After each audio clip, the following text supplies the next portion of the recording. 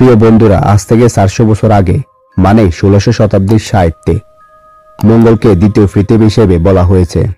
বর্তমানে বৈজ্ঞানিকদের কার্যকলাপ বা নেয়া পদক্ষেপগুলোকে দেখে সে দাবি অনেকটাই সঠিক বলে মনে হচ্ছে।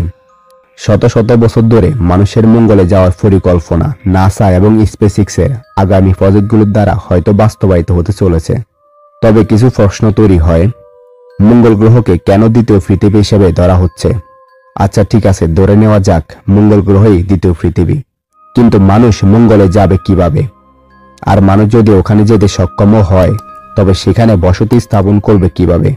আজকে মহাবিশ্বের এই ভিডিওটিতে আপনি সেই সকল প্রশ্নেরই উত্তর জানবেন। তো দেরি না করে এখনই সাবস্ক্রাইব করে দিন আমাদের চ্যানেলটি। সর্বপ্রথম আমরা এটা জানব যে মানুষ কি করে মঙ্গল গ্রহে পৌঁছাবে। কারণ মানুষ যদি মঙ্গল গ্রহে নাই যেতে পারে, তাহলে মঙ্গলে বসতি স্থাপন করা স্বপ্নই অহেতুক। উনিশশো একাত্তর সালে সোভিয়েত ইউনিয়ন মার্স টু এবং মার্স থ্রি নামক রোবটকে প্রথমবার মঙ্গল গ্রহে পাঠায় কিন্তু মঙ্গল গ্রহের ভূমিতে ফোসানো মাত্রই এই রোবটগুলি ধ্বংস হয়ে যায়, ফলে মিশনটি অসম্পূর্ণই থেকে যায়।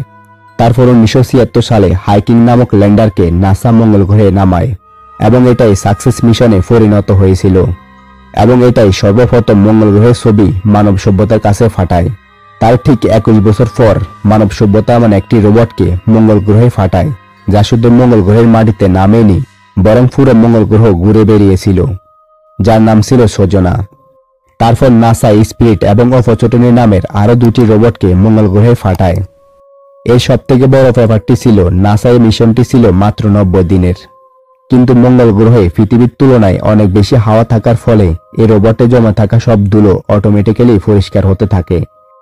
এবং সূর্যের তাপ থেকে এই রোবটের সোলার সিস্টেমে অটোমেটিক্যালি চার্জ হতে থাকে, যার ফলে এই মিশন নব্বই দিন থেকে বেড়ে ছ বছর অবধি চলেছিল। কিন্তু মঙ্গল গ্রহের মাটিতে খাদ ও উঁচু নিচু হওয়ায় এ দুটি রোবটও নষ্ট হয়ে যায়। অবশেষে নাসা যে রোবটটিকে ফাটায়, তার নাম ছিল সিকিউরিটি আর এটাতে সোলার প্যানেলের পরিবর্তে নিউক্লিয়ার দ্বারা চালিত ব্যাটারি ব্যবহার করা হয়েছিল। আর এটি প্রায় তেরো বছর মঙ্গল গ্রহের মাটিতে চলাফেরা করে। কিন্তু এত সময় কাটানোর পরেও স্পিরিট অপচটনি এবং সিকিউরিটি সব মিলিয়ে মঙ্গল গ্রহের মাত্র একচল্লিশ কিলোমিটার পথ অতিক্রম করতে সক্ষম হয়েছিল। কারণ এই সমস্ত রোবট যে কাজ ছয় মাসে করে, আর মানুষ সেই কাজ মাত্র দুই ঘন্টাতেই কমপ্লিট করে ফেলতে পারে। কিন্তু কথাটা এটা নয় যে তিনটি রোবট কতটা যাত্রা করেছিল। কথাটা হলো, এই রোবটগুলো মঙ্গল গ্রহের কেমন তথ্য মানব সভ্যতাকে দিয়েছিল। এই রোবটগুলো থেকে যে তথ্য পাওয়া যায়, তার গুরুত্ব ছিল অপরিসীম। কারণ মানুষ পাওয়া এই তথ্য থেকেই বুঝতে সক্ষম হয়, মঙ্গলেও বসতি সম্ভব।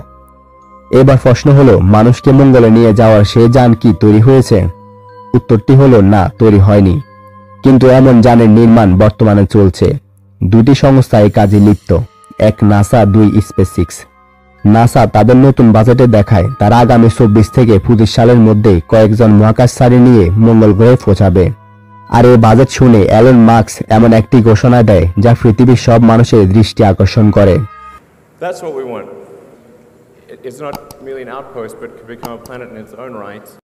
স্পেসিক্সের মালিক অ্যালন মার্কসের ঘোষণা অনুযায়ী স্পেসিক্স এমন একটি স্পেসিপ মঙ্গল গ্রহে পাঠাতে চলেছে যেখানে একশো জন মানুষ থাকবে। এই যানের নির্মাণ বর্তমানে জোর গতিতে চলছে, যা দুই সাল থেকে দুই হাজার আঠাশ সালের মধ্যে সম্পূর্ণ হয়ে যাবে বলে আশা করা যায়। তারপর আগামী বছরে মানে দুই সালে, মানুষ মঙ্গল গ্রহে মাটিতে ফা দিতে চলেছে। এই মিশন অনুযায়ী মানুষগুলো মঙ্গল গ্রহে ফা রেখেই শুধু ঘুরে ফিরে চলে আসবে না, তারা ওখানে থাকবে এবং লক্ষ লক্ষ মানুষের আত্মনির্ভর বসতি তৈরির কাজ শুরু করে দিবে। তাদের এই প্রেজেন্টেশনে দেখানো হয় প্রথমে একটি রকেট বুস্টারের সাহায্যে পৃথিবী থেকে মহাকাশে একটি গোটা স্পেসশিপকে পাঠানো হবে। আর ওই একই রকেট বুস্টার স্পেসশিপ থেকে আলাদা হয়ে পৃথিবীতে আবার ফিরে আসবে। অর্থাৎ রকেট বুস্টারটি যে স্থান থেকে লঞ্চ করা হবে, ঠিক সেই স্থানে আবার ফিরে আসবে। এবং এই রকেট বুস্টারের সাথে একটি ফিউল ট্যাঙ্কে যুক্ত করে দিয়ে রকেট বুস্টারটিকে আবারও ফাটানো হবে মহাকাশে। এবং রকেটটি মহাকাশে গিয়ে স্পেসিপের সাথে ফিউল ট্যাঙ্কে যুক্ত করে দিবে। যার ফলে পর্যাপ্ত জ্বালানি ফিরে যাবে স্পেসশিপ। এবং চার সপ্তাহের মধ্যে স্পেসশিপটি ল্যান্ড করবে মঙ্গল গ্রহের মাটিতে। আর এটা সম্ভব, কারণ এই স্পেসশিপের প্রত্যেকটি অংশ আলাদা করা সম্ভব হবে এবং বারবার ব্যবহার করতে পারবে। ফলে মঙ্গল গ্রহে যাওয়া এবং ফিরে আসা সম্ভব হবে। পর্যাপ্ত জ্বালানি থাকার কারণে একশো জন মানুষ সহ প্রয়োজনীয় জিনিস এই স্পেসশিপ বহন করতে সক্ষম হবে, যেখানে নাসার অরিও মডেল এত ওজন বহন করতে সক্ষম হবে না। তো আমরা এটা তো জানলাম যে মানুষ দু হাজার উনত্রিশ সালের মধ্যে মঙ্গলে ফা রাখতে চলেছে, কারণ এই কনসেপ্ট সাইটগুলির পার্সেন্ট সাইট অনেক বেশি।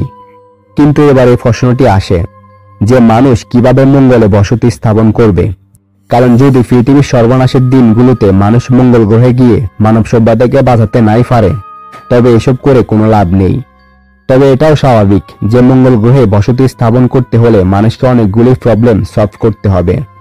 প্রথম প্রবলেমটাই হলো ফানি। এটা তো আমরা সবাই জানি। মানুষকে বেঁচে থাকতে হলে ফানি এবং অক্সিজেন দুটোই থাকা বাধ্যতামূলক। আর ফানিও রয়েছে মঙ্গল গ্রহে। মঙ্গল গ্রহের নর্থ এবং সাউথ পোলে বরফ জমে রয়েছে। অর্থাৎ মঙ্গল গ্রহের একদম নিচে এবং উপরের অংশে বরফ রয়েছে, যা গলিয়ে মানুষের প্রয়োজনীয় পানি পাওয়া যাবে। তাছাড়া বিজ্ঞানীদের অনুমান, মঙ্গল গ্রহে মাটির নিচে পানি রয়েছে। আর ঠিক এই কারণেই বিজ্ঞানীরা মঙ্গলকে দ্বিতীয় পৃথিবী হিসেবে মনে করে। বিজ্ঞানীরা দাবি করে এই পানির কারণেই অটোমেটিক্যালি তৈরি হয়ে যাবে অক্সিজেন। এরপর মানুষ সম্মুখীন হবে মঙ্গলের জলবায়ু, যা মোটেও মানুষের বসবাসের যোগ্য নয়, কারণ পৃথিবীর জলবায়ু এবং মঙ্গলের জলবায়ু সম্পূর্ণ আলাদা। মঙ্গল গ্রহের অ্যাটমসফিয়ার ভীষণ পাতলা, যার ফলে সূর্যের বেগুনি রশ্মি থেকে শুরু করে উল্কা ফিন্ডু মঙ্গল গ্রহের বায়ুমণ্ডলকে সহজে অতিক্রম করে নিচে পড়তে পারে। আর বিজ্ঞানীরা এটিকে দুইভাবে মোকাবেলা করার কথা ভাবছে। এক, মানুষ মঙ্গলের মাটির নিচে বসতি স্থাপন করবে। দুই, মঙ্গল গ্রহ থেকে পাওয়া আয়রন ও সিলিকা দিয়ে মোটা ছাদের নির্মাণ করবে, যা ক্ষতিকারক রশ্মি ও বহিরাগত হামলা থেকে মানুষকে রক্ষা করবে। এবার আপনি ভাবতে পারেন, এটা কীভাবে সম্ভব? হ্যাঁ এটা একশো পার্সেন্ট সম্ভব। আজকের যুগের আধুনিক থ্রিডি প্রিন্টেড টেকনোলজির সাহায্যে। নাসা এই বিষয়টির ধারণা পাওয়ার জন্য থ্রিডি প্রিন্টেড হবিটাইট প্রতিযোগিতার আয়োজন করেছিল। যেখানে জয়ী কোম্পানির আইডিয়া নাসা গ্রহণ করে, যেটা ছিল বরফের তৈরি থ্রিডি প্রিন্টেড ত্রিভুজ। এর সরাসরি অর্থ হলো আগামী সময় মানুষ মঙ্গলের সারফেসের উপরে থাকতে পারবে। এরপর মানুষ যে সমস্যার সম্মুখীন হবে, সেটা হলো গ্র্যাভিটি মানে মাধ্যাকর্ষণ শক্তি।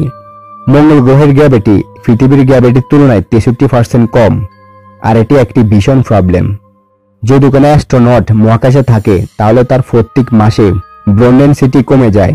কাজে মানুষ যদি মঙ্গল গ্রহে সেই অবস্থায় থাকে, তাহলে খুব তাড়াতাড়ি তার হাড়গোড় ভেঙে যাবে এবং পঙ্গু হয়ে পড়ে থাকবে। কিন্তু আপনি জেনে খুশি হবেন, বিজ্ঞানীরা এর সমাধান অলরেডি বের করে ফেলেছে। ধরুন একটি পাত্রে আপনি পানি ঢাললেন এবং পাত্রটি যদি আপনি উল্টো করে ধরেন, তাহলে কি হবে? আমরা সকলেই জানি পানিগুলো ফরে যাবে। কারণ উল্টা করা মাত্রই পাত্রটির গ্যাভিটি কমে যাবে। আর যদি পাত্রটিকে হাতে নিয়ে অতি গতিতে ঘুরাতে থাকেন, তবে কিন্তু পানি ফরবে না। কারণ গ্র্যাভিটেশনাল ফোর্স তৈরি হবে, যার ফলে এটি একটি শক্তি তৈরি হবে যা গ্র্যাভিটির মতোই। ঠিক এমন করে মঙ্গল গ্রহের বাড়িগুলোকে মঙ্গল গ্রহের ভূমিতে চারদিকে ঘুরাতে পারলে, তাহলে সেখানেও গ্র্যাভিটেশনাল ফোর্স তৈরি হবে এবং মানুষ মাধ্যাকর্ষণ শক্তির মতোই অনুভব পাবে। আর এটা করা সেন্টিফিউজের মাধ্যমে সম্ভব, যাকে আপনি ঘূর্ণন বলায় বলতে পারেন। অর্থাৎ মঙ্গল গ্রহে বিজ্ঞানীরা সেন্টিফিউজ সিটি তৈরি করবে। কিন্তু এখানেও একটা প্রবলেম যদি সেন্টিফিউজ সিটি থেকে মানুষ আকাশের দিকে তাকায়, তাহলে তারা দেখবে আকাশ ঘুরছে এবং সাথে সাথে তারা মাথা ঘুরিয়ে বমি করবে। বিজ্ঞানীরা এই সমস্যার সমাধান করছেন। তাদের মতে সেন্টিফিউজে সিটির উপর চাপ তৈরি করে দিলেই এই সমস্যা শেষ হয়ে যাবে, যার ফলে মানুষ উপরে তাকালেও আকাশ যে ঘুরছে তা আর দেখতে পাবে না। এবার মানুষ যে সমস্যার সম্মুখীন হবে সেটা হলো খাদ্য। পানি ও অক্সিজেন পাওয়ার পরেই খাদ্য তৈরি করতে প্রয়োজন হবে সূর্যের আলোর। আর এই সূর্যের আলো পেতে মানুষকে অনেক প্রবলেম ফেস করতে হবে। কারণ মঙ্গল গ্রহে আঠাশ ডিগ্রি তাপমাত্রা থাকে গরমের সময়, কিন্তু মাইনাস একশো ডিগ্রি তাপমাত্রা হয়ে যায় শীতের সময়। এক্ষেত্রে বিজ্ঞানীদের অনুমান, মানুষকে গরমের সময় সোলার প্যানেলের সাহায্যে বিদ্যুৎ সঞ্চয় করে রাখতে হবে এবং শীতকালে কৃত্রিম আলো ব্যবহার করে ফল এবং উদ্ভিদকে বাঁচিয়ে রাখতে হবে। বিজ্ঞানীদের অনুমান এভাবেই হয়ে উঠবে আমাদের দ্বিতীয় পৃথিবী, মঙ্গল গ্রহ। আর আপনার যদি পৃথিবী ছেড়ে মঙ্গলে গিয়ে বসবাস করতে ইচ্ছে হয়, তাহলে অবশ্যই কমেন্ট বক্সে আপনার মতামত দিতে ভুলবেন না। ভিডিওটি ভালো লাগলে অবশ্যই শেয়ার করে সবাইকে জানতে সুযোগ করে দিন। ধন্যবাদ।